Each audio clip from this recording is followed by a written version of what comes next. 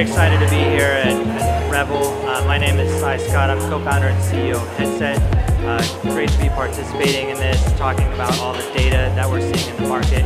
Really excited to be in New York. Uh, all the interest in New York for cannabis, uh, particularly around legalization. Very exciting. Uh, great audience. Happy to do it and look forward to the next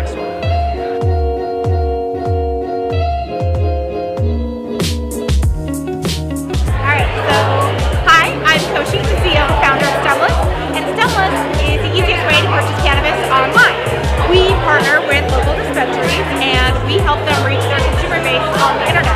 So we do everything from post live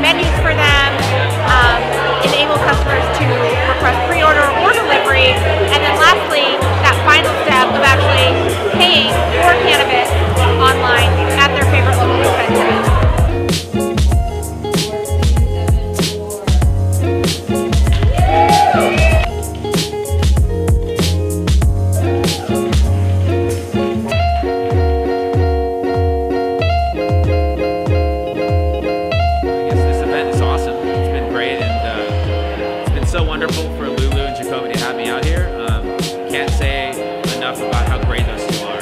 Um, and I'm impressed that the turnout, I guess it was twice as big as they thought. Hopefully the next one's going to be twice as big as this.